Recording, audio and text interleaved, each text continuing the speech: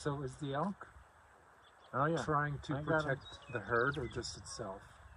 Do you think? Right now, probably itself. Just itself. That's a lone cow. Oh, there they go. There. That's great.